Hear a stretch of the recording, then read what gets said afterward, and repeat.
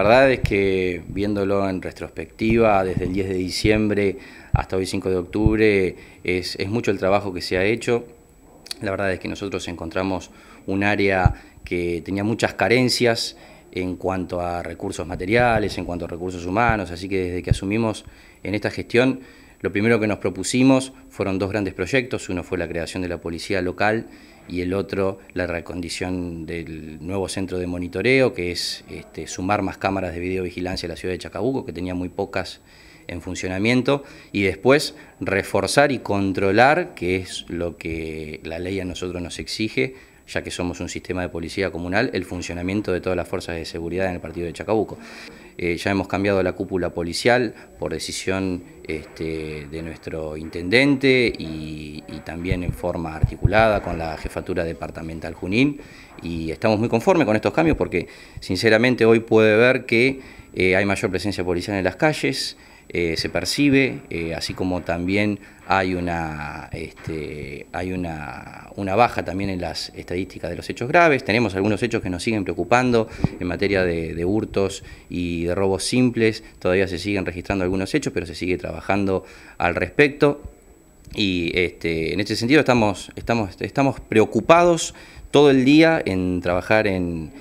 materia de seguridad. De ahí es que nos abocamos de lleno a todo este tipo de proyectos. Nosotros eh, seguimos gestionando no solamente a nivel local, sino también a nivel provincial y, nación. El día viernes vamos a tener una reunión con el, con el Ministerio de Justicia de la Nación que este, nos va a asignar también una, parte de su presupuesto para que nosotros podamos trabajar en todo lo que tiene que ver eh, control de videovigilancia en, en las rutas. Nosotros tenemos eh, o heredamos, mejor dicho, un convenio celebrado con Secaitra que tiene que ver con la instalación de radares móviles y fijos en, las rutas provinciales y nacionales. Eh, así que la idea era mejorar ese convenio, mantuvimos una reunión la semana pasada eh, a través de la cual se articularon distintas tareas en las cuales nosotros asumimos el compromiso de llevar mayores garantías de seguridad a esos lugares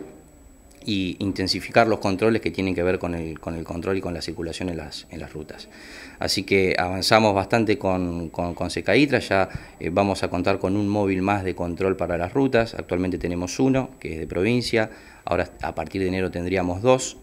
La idea es este, extender parte del alumbrado público también en las rotondas, como para que la gente que va llegando a la ciudad también este, sienta una mayor sensación de, seguridad en cuanto al, control, la correcta señalización del ingreso a una rotonda, la correcta señalización también de los radares. Nosotros cuando asumimos vimos que los radares ni siquiera estaban señalizados, con lo cual todas las actas de infracción que se fueron realizando hasta esa fecha eran, eran nulas por falta de señalización, así que trabajamos en materia de señalización.